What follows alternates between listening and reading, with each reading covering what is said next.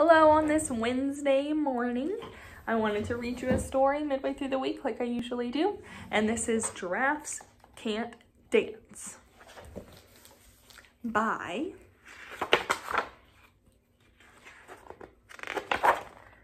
Giles Andreae, illustrated by Guy Parker Reese. Giraffes can't dance. Gerald was a tall giraffe whose neck was long and slim, but his knees were awfully bandy and his legs were rather thin. He was very good at standing still and munching shoots off trees. But when he tried to run around, he buckled at the knees. Now, every year in Africa, they hold the jungle dance, where every single animal turns up to skip and prance. And this year, when the day arrived, poor Gerald felt so sad, because when it came to dancing, he was really very bad. The warthogs started waltzing, and the rhinos rock and rolled. The lions danced a tango, which was elegant and bold. The chimps all did a cha-cha-cha with a very Latin feel, and eight baboons then teamed up for a splendid Scottish reel. Gerald swallowed bravely as he walked towards the floor, but the lions saw him coming and they soon began to roar. Hey, look at clumsy Gerald, the animals all laughed. Giraffes can't dance, you silly fool. Oh, Gerald, don't be daft. Gerald simply froze up. He was rooted to the spot. They're right, he thought. I'm useless. Oh, I feel like such a clot. So he crept off from the dance floor and he started walking home. He'd never felt so sad before, so sad and so alone. Then he found a little clearing and he looked up at the sky.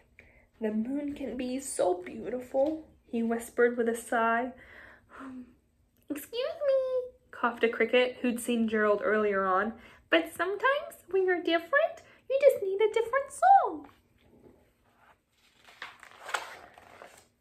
Listen to the swaying grass and listen to the trees. To me, the sweetest music is those branches in the breeze. So imagine that the lovely moon is playing just for you. Everything makes music if you really want it to. With that, the cricket smiled and picked up his violin. Then Gerald felt his body do the most amazing thing. His hooves had started shuffling, making circles on the ground. His neck was gently swaying, and his tail was swishing round. He threw his arms out sideways and he swung them everywhere. Then he did a backward somersault and leapt up in the air. Gerald felt so wonderful. His mouth was open wide. I'm dancing. Yes, I'm dancing. I am dancing, Gerald cried.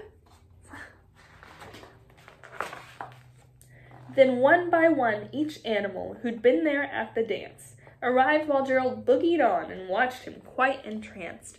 They shouted, It's a miracle! We must be in a dream! Gerald's the best dancer that we've ever, ever seen! How is it you can dance like that? Please, Gerald, tell us how.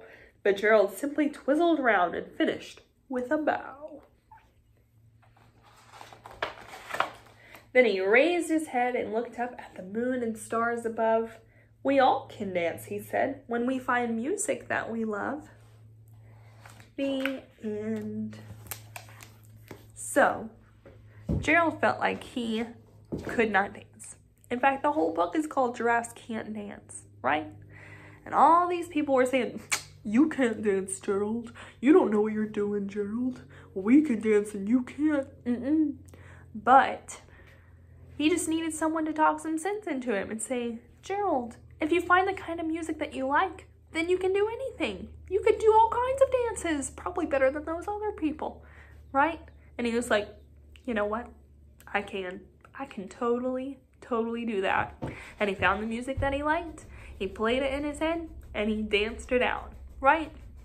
So, if you find something that you like to do, even amidst like stuff you don't like to do, so like, say you're doing some math homework and you really don't like math, but you find this one thing about math that you super duper like, like graphing or um, multiplying two numbers by one number, and you're like, I can do that pretty good. I think I like math now. If you find that one thing that you really like about it and that you can kind of relate to and that will make you like it more, then boom, light bulb on, and you'd be really awesome at it. And everybody has that one thing that they're, maybe more than one thing, probably more than one thing, that they are really, really awesome at. And if they use that, if you use that, then you could be really, really awesome at a whole lot of things. Like Miss Shatswell is kind of awesome at music, or she likes to think so. And if I use that to like memorize stuff in my other classes, like math songs and um, English songs and social studies songs, then I could be really good at those things too, right? And your teachers and your parents and your friends and Miss Shatswell can help you with things like that and find out what you're really, really good at and then apply it to the other things that you really don't like. And then you can might maybe like those things too, just like Gerald. So Gerald just had to find what he really liked and apply it to what he wasn't very good at. And then it made him really, really good at that. So everybody can do that. Everybody can find something about something they don't like and turn it into something they do like by using the other stuff that they do like. I know that sounds crazy, but find something you really like and see if you can apply that to something you don't really like. That will make you like it more, if that makes sense. Okay? so, if you need help, ask your parents, mom and dad, your family, your siblings, your teacher, Mr. Piggy or Miss Bennett, or Miss Harris or Miss Baum or Miss Shatswell, and we can totally help you find out what you're really, really good at and help you be really, really good at everything else. Okay? I will see you next week, okay? Love you guys. Bye.